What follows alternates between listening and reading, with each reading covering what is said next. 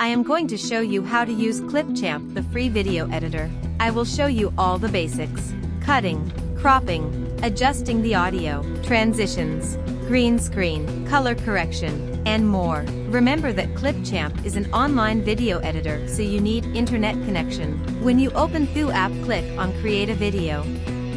On the first tab on the left side. The media. Here you can add your footages. You can click on Add Media and select them. Or you can just select and drag to the app. Second tab is Record and Create. Here you can make a screen record or a text-to-speech if you want to make a tutorial like this. The next four tabs are pre-made media which is already made for the app. Like templates for YouTube and sound effects. You can add whatever you want and adjust on it.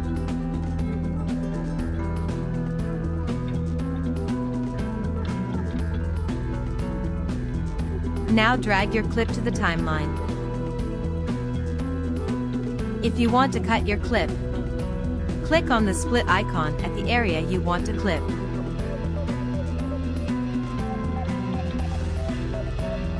After you cut it select the clip and click on delete that will remove it from the timeline. There might be an empty space you can select it and delete too. If you want to add overlay like video or photo, drag it from the media to the upper layer on the timeline. After you place it you can change the size like this and the position. Now to add text.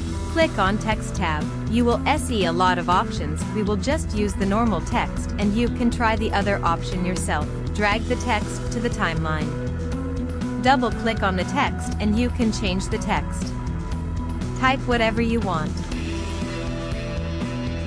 On the right side, you will see a small arrow click on it to open this adjusting tab. Here you can adjust on the text. You can change the font, the, the style, the size, the align, the position, and of course you can change the color. Now if you want to add transitions, go to the transition tab and select the transition you want. Drag it between the two clips. A new adjusting tab will appear on the right side. From it you can change the transition type and the duration of the transition. When you select a clip you can flip it and rotate from this this far on the preview pane. Now on the right side first is the volume. Here you only change the volume level and extract the audio from the video. Second tab effects. Select any effect you want and it will apply to the clip. After you select the effect you can adjust the effect strength.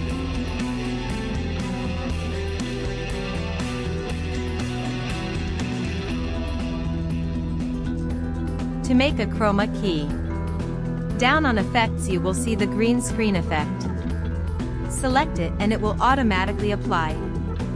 Select the color you want and change the threshold until it's OK for your clip. On Fade tab you can add fade in and out to the clip and select the duration of it.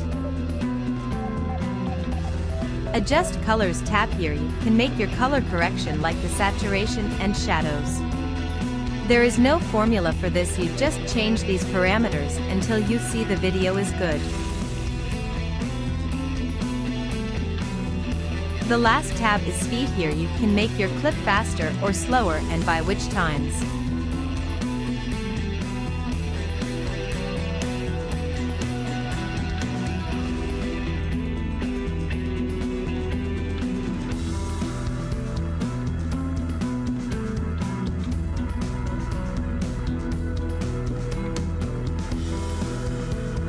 to make text-to-speech that I am using it for my videos.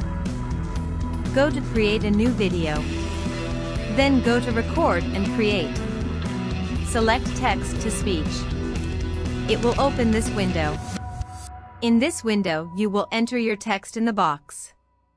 And from above you can choose the language you want and which country. This is a voice generator. Then you will have a lot of voices Video to Editor. choose from. Type your text and click on the preview This is a button voice to listen generator to the voice tool. in Clipchamp Video Editor. This is a voice generator tool in Clipchamp Video Editor. The voice I am using now is Aria.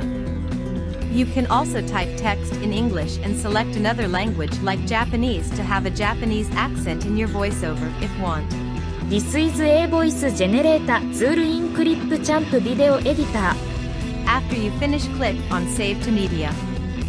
Then you can drag the audio to the timeline and you can edit on the software if you want, but I will just export the audio. It will be exported as video and you can convert it in another software or use it in your editing app and delete the black screen video. This is a voice generator tool in Clipchamp Video Editor. After you finish editing go to top of that box of untitled box and change the name of your project. Now click on export and select the quality you want. And it will start exporting.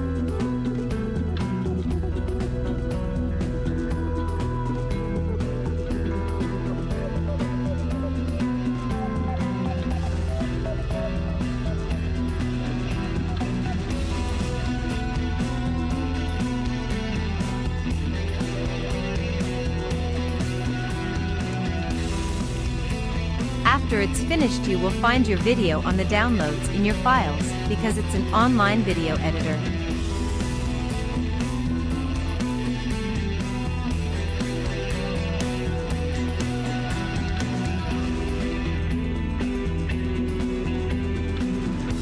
So that was today's video, I hope it was helpful. Thanks for watching.